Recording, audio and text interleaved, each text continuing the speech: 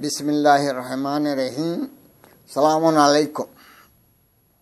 میں سید جسن کاظمی آپ سے مخاطب ہوں۔ میں اپنی میری کہانی، میری زبانی اس عنوان کے تحت جو ہے تو اپنے خاندانی لوگوں کا تعارف اور میری بھی جو ہے تو کچھ لائف کی اپنے سب سوانے کی باتیں اور بایو ڈاٹا وغیرہ سب کچھ پیش کرنے والا ہوں۔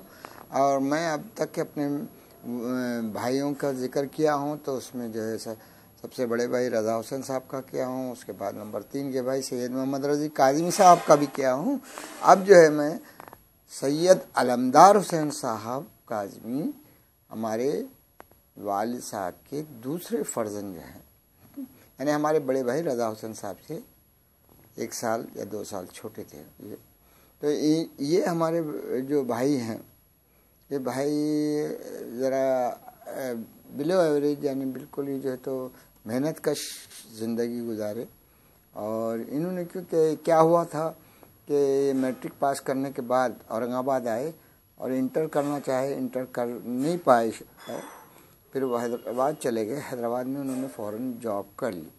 وہاں جاب کرنے کے بعد جو ہے، ہمارے والدہ نے ان کی شادی وغیرہ بھی کرا دی اور ان ان کی جو ہے اولاد جو ہوئی، ان سے ان سے جو ہے تو دو لڑکے اور ایک لڑکی ہوئی۔ میں نے پہلے بھی ذکر کر چکا ہوں یہ چیز کا۔ اب ان کے جو ہیں، سید علمدار حسین صاحب کا آدمی جو ہے اکاؤنٹنٹ کے حیثیت سے کمشنر پولیس میں رہے۔ مگر ایک جو ہے تو اکاؤنٹنٹ اکثر جو ہے تو راشی رہتے ہیں، رشوت کھاتے ہیں، یہ کھاتے ہیں۔ مگر ان کی بالکل آنےسٹ اور ایماندارانہ زندگی رہی اور اس میں ان میں ایک قسم کا جو ہے ایک ولی صفت کے انسان بن گئے تھے۔ اور اس طرح سے وہ کبھی بھی جو ہے تو دنیا پرستی میں بالکل نہیں رہے اور اپنے اپنے دھن میں رہتے تھے، لوگ کام کر دیتے تھے، ایمانداری سے کام کرتے رہتے تھے اور ان کے زندگی میں کچھ تکالیف آئی کچھ یہ ہوئی تو وہ ایک وقت پالی بول کے ایک مقام ہے بیڑ میں۔ بیڑ کا ایک دیہات ہے جہاں پہ فشری ڈپارٹمنٹ کا آفس تھا۔ وہاں پہ رضا حسین صاحب جو ہمارے بھائی صاحب تھے، ان رہتے تھے، وہاں ان کا آفس کم ریسیڈنس تھا۔ وہیں رہتے تھے تو وہاں پر جو ہے ہمارے علمدار حسین صاحب عقیل بھائی بھی آئے رہے۔ تو ان کا عالم یہ تھا کہ وہاں سے سات آٹھ کلومیٹر دور بیڑ ڈسٹرکٹ ہے۔ وہاں اندھیرے میں ایک وقت گئے، اندھیرے میں آئے تھے۔ اور ان کا کہیں بھی جو تو ڈر اور خوف تو ان کو تھا ہی نہیں۔ کہیں بھی نکل جاتے تھے اور کہیں بھی آتے تھے۔ اب بعض وقت ان کی جو پریشانیاں وغیرہ ہوئیں، تو ان کی پریشانیوں کے واسطے اس وقت بھائی صاحب کا ایک آفیسر تھے نائک صاحب سر نائک بول کے۔ انہوں جب بولے بھائی ایسا ہے، میں ایسا ٹینشن وغیرہ، انہوں نے بولے دیکھو، دوسرے کچھ کر رہے، نائک صاحب نے بتایا، دوسرے کچھ کر رہے تو اپنے ذہن پہ تان مت دو، اپنے ذہن کو ٹینشن میں نہیں لینا۔ اپن دوسرا کتنا بھی برا رہو، کیسا رہو، اس سے کوئی تعلق نہیں رکھتے ہوئے آپ اپنی زندگی جیو۔ برا ہے برا ہے اپنی جگہ ایسا انہوں نے ایک اچھا لیسن ان کو دیے تھے اس کے بعد ہمارے اخیل بھائی جو تو کبھی بھی برے سے برائی، اس کے بارے میں اس کا برائی نہیں کرتے تھے، اور اس سے جو تو برے سے کچھ ڈرتے بھی نہیں تھے، برا، کتنا بھی برا رہا۔ اور اس طرح سے جو ہے انہوں نے اپنی زندگی گزارے ان کے دونوں بچوں کو بھی جو تو وہ بچے انگریزی میڈیم سے پڑھے، بڑے ہوئے۔ اور اس میں ماشاء اللہ سے پرویز جو ہے تو اب اچھا ویل ٹو ڈو ہو گیا ہے۔ ساؤنڈ سسٹم کا جو ہے کاروبار کرتا ہے۔ پرویز جعفر کاظمی۔ اور دوسرے مہدی جان ہیں، ذرا وہ، ان کا معیار جو ہے، اتنا اکنامیکلی اتنے نہیں تھوڑے ویک ہیں، مگر وہ بھی جو ہے، اس وقت اسٹیبلش ہیں۔ اب بھی بچے ہیں، اس کے ساتھ رہتے ہیں انہوں، اور ان کی بچی یہاں اورنگ آباد میں دی ہوئی ہے۔ وہ بھی تھوڑی مشکلات میں رہتی ہے، مگر کیسے بھی ان کی زندگی گزر رہی ہے، آگے بڑھ رہے ہیں۔ میں جو ہے جن اخل بھائی کو ایک شوق ہوا تھا ہمارے۔ وہ شوق یہ ہوا تھا کہ ان کی جو پینشن ہوئی تھی، پینشن کی انہوں نے پوری رقم جو ہے چار مینار بینک میں رکھے تھے، جو گریچوٹی اور لیو انکیشمنٹس وغیرہ ملتے ہیں۔ اور مگر ایک اس زمانے میں کیا ہے، تین، چار، تین، ایک، دو، تین لاکھ جو بھی ملے ہوگے بہت کم رقم ملی تھی، مگر وہ رقم بھی جو ہے ان کے لیے بہت تھی۔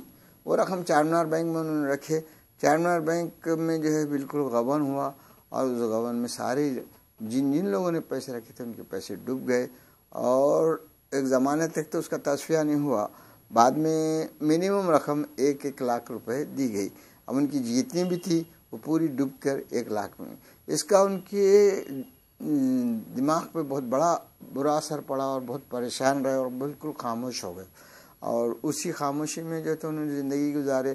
اور آخر میں جو ہے تو اتنے ہوش آواز بھی کمی آ گئی تھی کہ سیدہ بھابھی ہماری بہت اچھی بھابھی ہیں، انہوں نے پوری خدمت کی، ان کی بہوؤں نے خدمت کی اور جو ہے، آخر میں جو ہے تو ان کا چند سال پہلے ہمارے انتقال ہو گیا اور اس طرح سے ہمارے دوسرے بھائی صاحب بھی جو ہے تو اس دنیا سے چلے گئے اور ان کے بال بچے ہیں اللہ کے فضل و کرم سے اور خوشحالی سے ہیں سب اور کیسے بھی جو بھی ہے اللہ کے فضل و کرم سے جی رہے ہیں اور فیملی کے ممبرس میں سے ہیں، اچھے طریقے سے ہیں اور ان کا جو ہے تو خاص طور سے پرویز ویل فریش یعنی ویل اسٹیبلش ہے اور اچھے زندگی گزار رہا ہے۔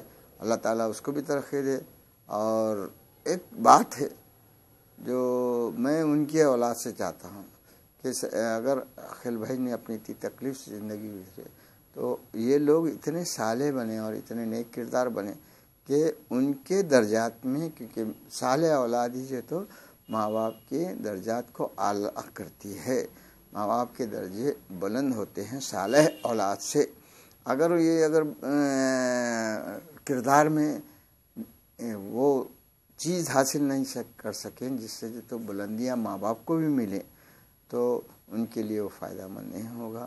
اپنے کردار سے، اپنے اخلاق سے، اپنے قربانیوں سے جو ہے تو اپنے ماں باپ کی خدمت کرنا پڑتی ہے۔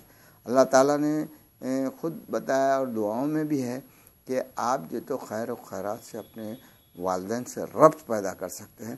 تو میں ان کی اولاد سے یہی خواہش کروں گا، خاص طور سے پرویش سے، کہ اپنے آپ کو اس درجے کی طرف لے جائے جو تیری تمہارے کو جو کچھ بھی ملتا ہے، اس میں جو ہے تو ایسے نیک کام کرو کہ تمہارے والد بزرگ جو ہے تو ان کے درجات عالی ہوں اور وہ تمہارے لیے جو تو عالم برزخ میں دعائیں کریں اور تم اگر کردار کا اگر انسان گر جائے تو نہ صرف وہ، ماں باپ کو کوفت ہوتی ہے، وہ عالم برزخ میں جو تو کوفت اٹھاتے ماں باپ کو خوش کرنا ہے تو اچھے سے اچھے کردار کو پیش کرو، اچھے سے اچھے کردار کو لے کر جو تو آگے بڑھو۔ یہی میں جو تو ان کے بچوں کو ایک دلاسا دیتا ہوں اور یہ امید دلاتا ہوں کہ وہ اچھے سے اچھے کردار میں تبدیل کر کے اپنے آپ کو اگر ہیں تو بہت اچھا ہے اور نہیں ہے تو وہ چیز کو اپنے میں داخل کریں اور اچھا کردار ادا کرتے ہوئے جو ہے ہمارے اخل بھائی کی جو ہے درجات کو عالی کرنے کی کوشش کریں۔ میں ان کی ایک خاص بات بتانا یہاں پر چاہتا ہوں کہ وہ کتنے بلند تھے۔ میں دو ہزار چار میں حج کو گیا تھا، میں سب جو تو حج اور زیارت ساتھی تھا ہمارا، اور ہمارا آخری جو ہے پڑاؤ، ہمارا آخری جو مقام جو ہے، ایران میں تھا۔ ایران میں ہم مشہد میں جب گئے اور سب کچھ زیارت کر لی، تو میں جب سو رہا تھا تو میں خواب میں دیکھا کہ مشہد کے صحن میں سے جو ہے تو جناب امام رضا علیہ السلام کے روزے میں صحن میں سے آ رہے ہیں سامنے۔ میں نے بولا، آپ کہاں سے آ گئے یہاں پر؟ تو بولے، میں تو شروع سے تمہارے ساتھ تھا۔ حالانکہ ہم تو پیسے خرچ کر کے گئے، مگر اللہ تعالیٰ نے ان کی روحانی حیثیت سے ان کو اتنا بلند کیا کہ وہ ہمارے ساتھ تھے۔ تو ایسے بلند ہستیوں کی اگر اولاد ہیں، تو ان اولادوں کو بھی ان کی ہستی کو یاد باقی رکھنے کے لیے نیک کرداری سے ان سے رب پیدا کرو۔ اور یہی خواہش کرتا ہوں میں، اور آخر میں ان کے روح کے ایسال ثواب کے لیے سب سے یہ التماس کرتا ہوں کہ ایک سورہ فاتحہ اور تین مرتبہ قل اللہ کے تلاوت کر کے ان پر ان کو بخش دے۔ بسم اللہ الرحمن الرحیم۔ الحمد للہ رب العالمین۔ الرحمن الرحیم۔ مالک یوم الدین۔ ایاک نعبد و ایاک نستعین۔ اهدنا الصراط المستقيم صراط الذين أنعمت عليهم غير المغضوب عليهم ولا الضالين. بسم الله الرحمن الرحيم قل هو الله أحد. الله الصمد ولم يلد ولم يولد ولم يكن له كفوا أحد. بسم الله الرحمن الرحيم قل هو الله أحد الله الصمد لم يلد ولم يولد ولم يكن له كفوا أحد بسم الله الرحمن الرحيم قل هو الله احد الله الصمد لم يلد ولم يولد ولم يكن له كفوا احد اللهم صل على محمد وعلى اللهم صل على محمد وعلى اللهم صل على محمد وعلى اس تلاوت کا عیسال ثواب میں جناب سید علمدار حسین کاظمی ول سید الطاف حسین کاظمی کے لیے پیش کرتا ہوں۔ یا اللہ قبول فرما۔ وآخر دعوانا ان الحمد للہ رب العالمین۔ اللہم صلی اللہ محمد